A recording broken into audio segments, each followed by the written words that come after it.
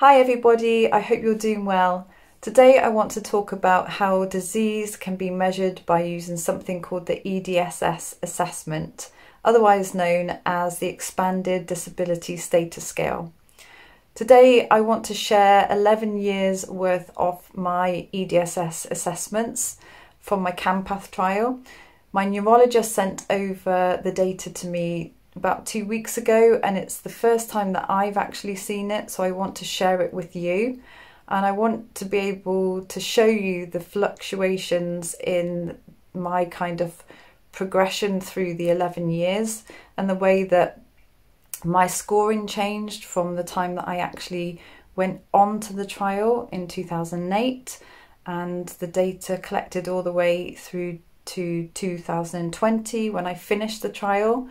And just to kind of show you some of the years where my EDSS score went up, um, because I had some very stressful periods throughout those years, and I honestly believe that it had something to do um, with that and an effect on my body, and therefore had an effect on my EDSS score.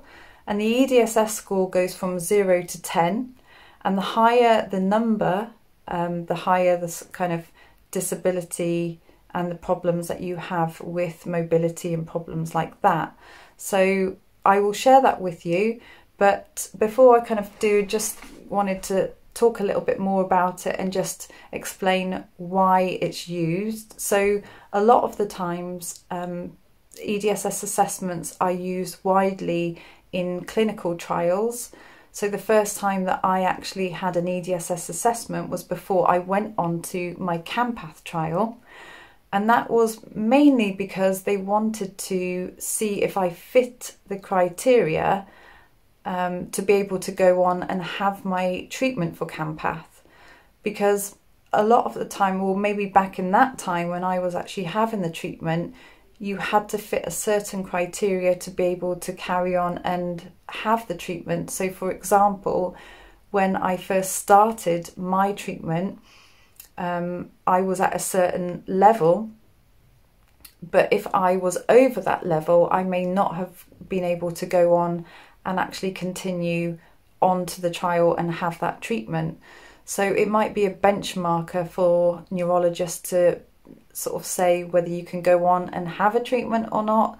I don't know if it's changed over the time, but I think that it might be a benchmarker to see whether you can or can't go on to have disease modifying treatment or not.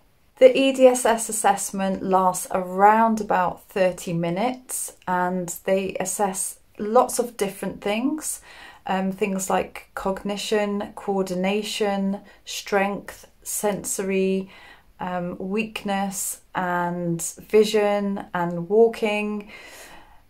And there's a combination of different things that they do to test this, and I can kind of go through some of those a little bit later. And what they do is they take all the individual symptom assessments and they combine them more numerically and they combine them then into one single score, and that gives you your EDSS assessment score. And so, as I said, the scoring system is then from 0 to 10. 0 being that you basically don't have any symptoms at all, and 10 being the worst one, um, death from MS.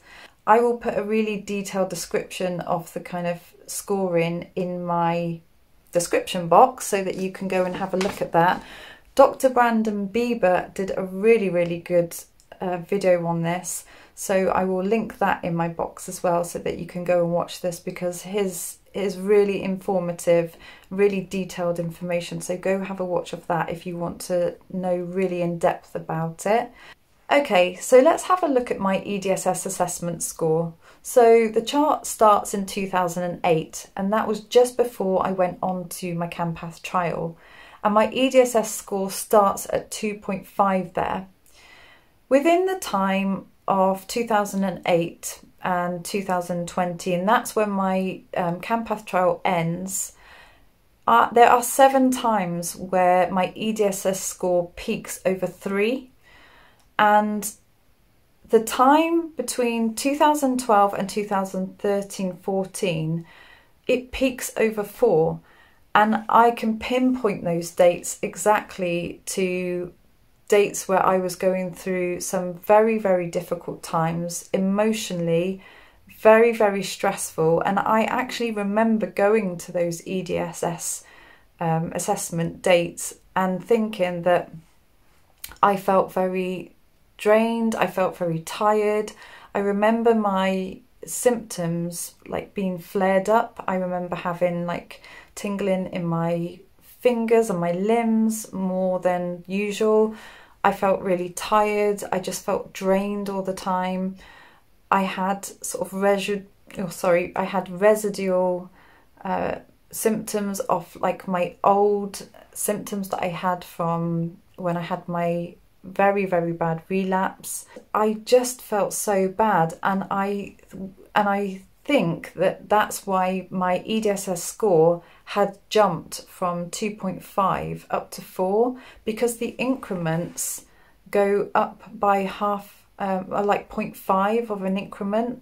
So actually to jump from 2.5 to 4 is actually quite a big increment. And sort of reading about the EDSS scores and how they're given and what they're based on, sensory symptoms are given are scored quite highly. So I think that that's that would have been around about that time why I would have been being scored higher than normal.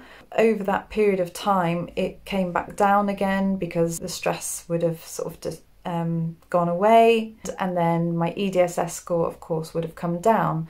And there were also periods on my chart.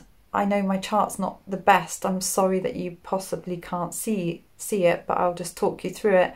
But there were times on my chart where it you know it fluctuated from sort of 2.5 to 3 to 4 3.5 down to 2 and even at times down to 1 um, but the important thing is is that actually it stayed very very steady on average over the 11 years.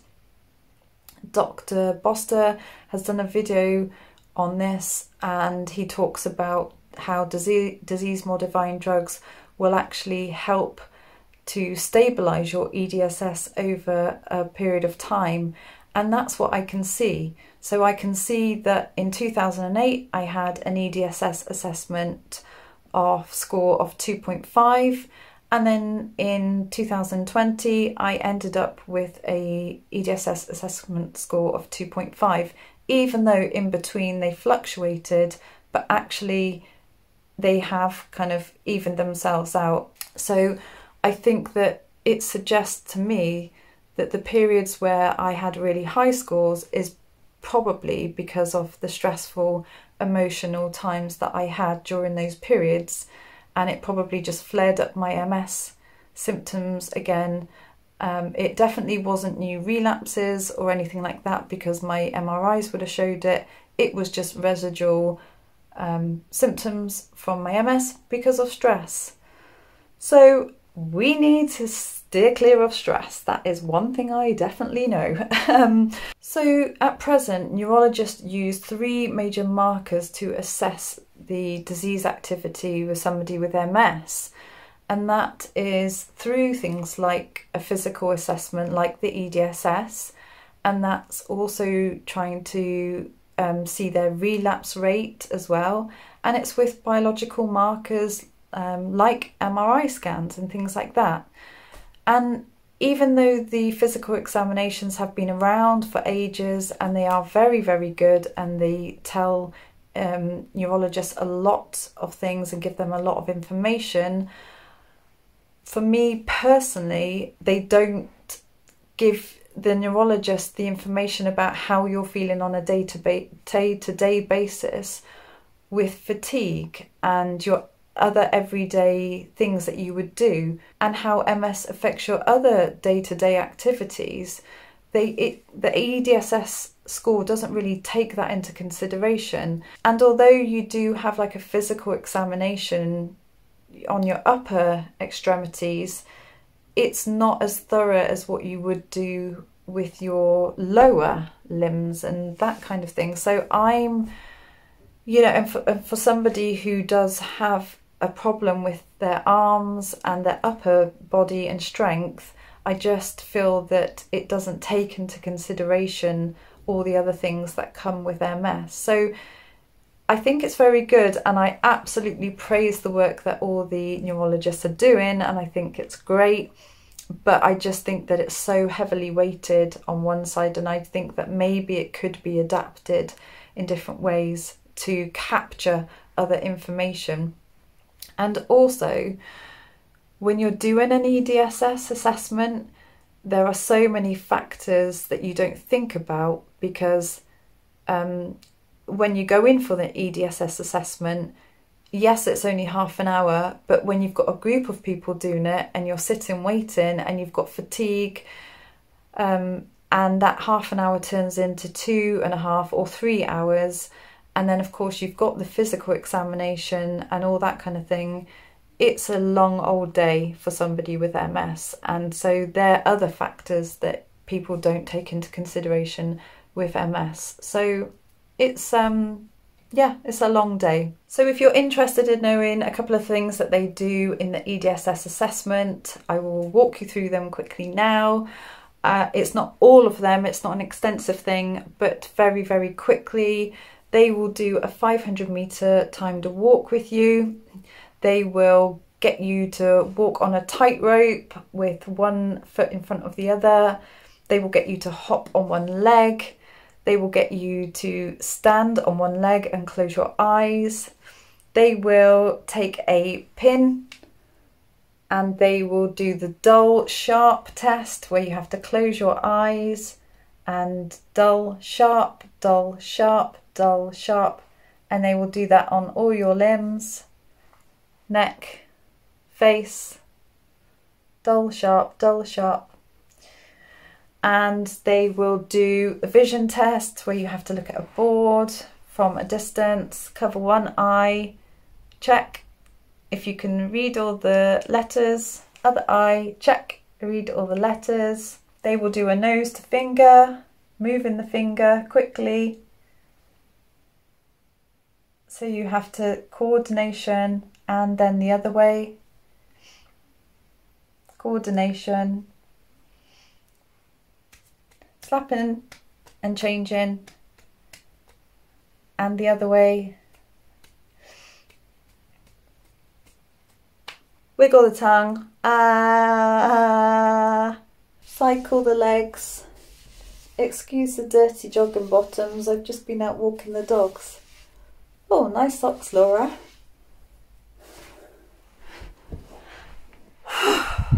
I'm tired just doing that. I hope that by sharing this data and being able to see data, somebody's data from sort of quite a long period of time is useful and um, I find it really interesting as well because these are all things that I haven't seen.